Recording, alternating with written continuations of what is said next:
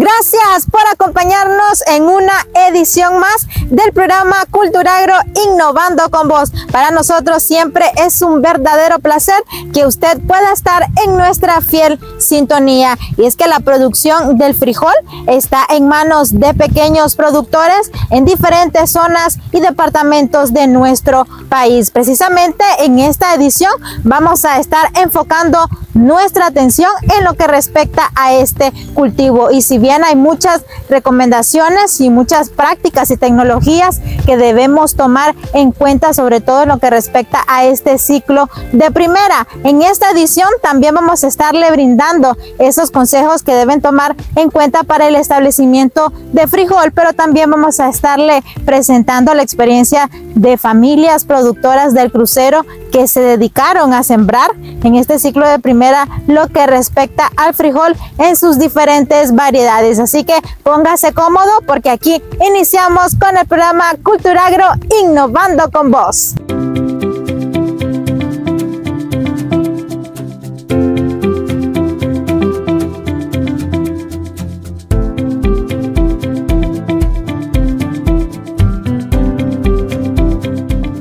Nosotros recomendamos a los agricultores que, que bueno, que sembraron en, ese periodo, que el frijol ya tiene aproximadamente unos 15 días, que bueno, empiecen a hacer algunas aplicaciones fitosanitarias preventivas, principalmente para el control de algunas enfermedades que son de carácter fungosa, como el caso mustilechosa, que es una de las enfermedades que se va a presentar mucho al haber una alta precipitación. También deben tener eh, cuidado en este momento para el control de maleza, que es muy importante también hacer un control de maleza aproximadamente entre los 18 y 20 días después de establecido el cultivo. Eh, lo pueden hacer con herbicidas selectivos como Flexifusilade o bien pueden hacer el uso de controles mecánicos con el uso de guaraña, porque pueden hacerlo. El objetivo es mantener limpio el cultivo en estos primeros 30 días para evitar de que compita con, con maleza y que, y que bajen los rendimientos considerablemente.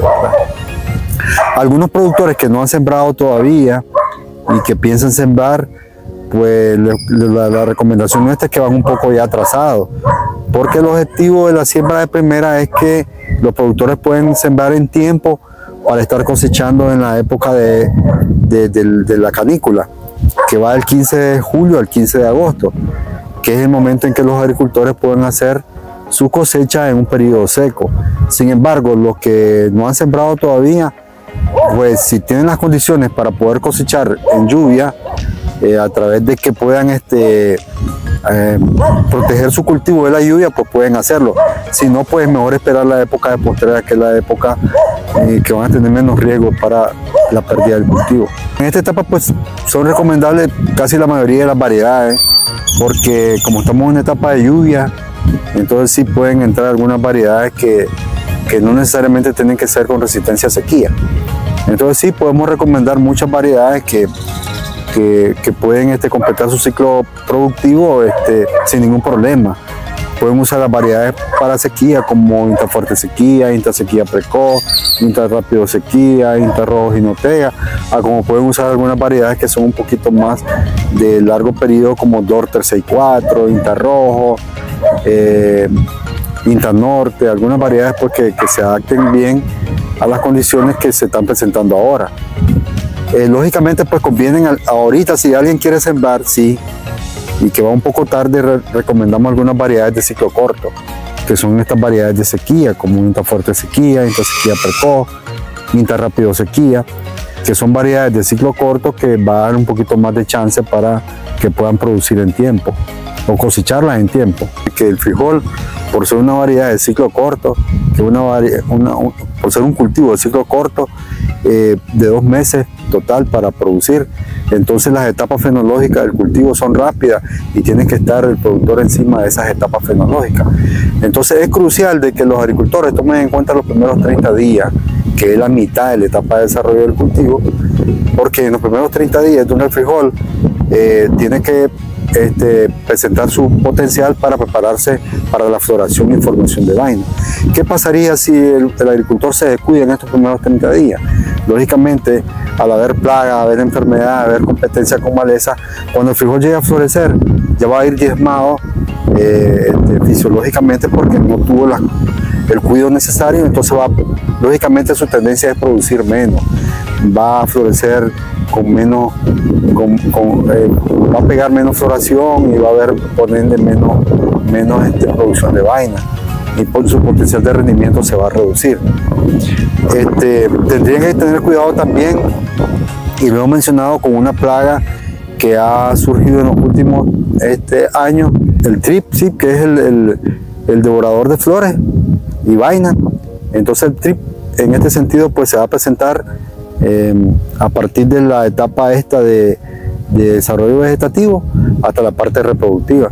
Entonces sí tienen que tener mucho cuidado con el trip porque es una plaga que, que en su momento va a afectar y si afecta la floración, por ende va a afectar la producción. Algunas recomendaciones preventivas que hemos hecho nosotros los agricultores en las diferentes capacitaciones que se les ha dado y que se siguen dando es que por, lo menos tomen en cuenta la siembra en conservación de suelo, mínima labranza, como lo que tenemos ahora acá, eh, eh, que nos va a permitir de que el, cultivo, digamos, no sufra con, con, la alta humedad o las altas precipitaciones en el sentido de la proliferación de enfermedades, porque, eh, digamos, la mucha lluvia es sinónimo de mucho hongo. Entonces, recomendamos nosotros primero que el productor haga rotación de cultivo para evitar, digamos, que alguna enfermedad que tuvo en el ciclo anterior se siga proliferando. Siembren a mínima labranza, también siembren a doble surco o a triple surco o a cuatro surcos. Lo fundamental es que la planta tenga así como esta que vemos acá, una aireación eh, más, más efectiva y evitar, digamos, de que el cultivo cierre y con la mucha humedad pues haya mucha pérdida de planta por pudrición de planta eh, cuando se presente el hongo. Entonces lo importante es que también haga siembras así donde le permita una mayor adhesión al cultivo, además del manejo, pues, porque una calle más ancha le va a permitir hacer un manejo fitosanitario mejor al cultivo. Lo otro es el uso de variedades con resistencia a la alta humedad, digamos variedades también que tienen alguna alguna tolerancia con los hongos, eh, que es muy importante ¿verdad? que la usen también. Entonces serían sí medidas este, que son de carácter preventivo. Eh, también que siembren, si, están en laderas, que siembren al espeque para evitar, digamos, la pérdida de, suelo y la pérdida de plantas por, por, la, por la pendiente. Entonces, lo importante es la conservación del suelo. Creo que una buena práctica de los agricultores que siembran su pequeña área es que la hagan, de, eh, eh, que siembren al espeque, que, que, van a conservar suelo, no van a rupturar mucho suelo y van a evitarse la pérdida de, de plantas por enfermedades a causa del salpique del agua.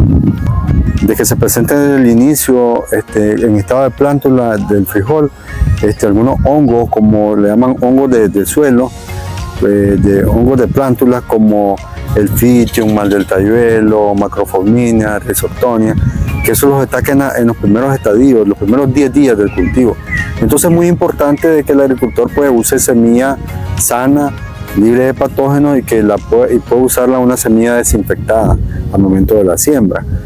Si no, pues necesariamente tendrá que hacer aplicaciones preventivas cuando inicie el desarrollo del cultivo para evitar, digamos, de que estos hongos este, puedan, puedan este, causarle pérdidas considerables. Lo, importante, lo, bueno sí es que cuando se trata de hongos, eh, el, productor tiene la posibilidad de poder aplicar algún producto como los caldos sulfocálcicos, los caldos bordelés, que son de fácil este, adquisición para ellos porque lo pueden producir en la propia finca. Si no, pues tienen que usar algunos fungicidas como mancosé, como, como, como este, eh, otros otro, otro fungicidas de carácter químico, pero sí pueden usar los, que ellos pueden preparar, ¿verdad? estos preparados. Y, y, la ventaja que tienen es que los hongos sí se pueden, se pueden este, contrarrestar y se pueden este, recuperar la planta. No el caso como las enfermedades como los virus y las bacterias. Entonces sí con el hongo pueden ellos hacer algunas aplicaciones preventivas y curativas. Que el frijol es un cultivo que tiene un ciclo este, vegetativo y reproductivo de los más rápidos que hay en, los cultivos, es de dos meses.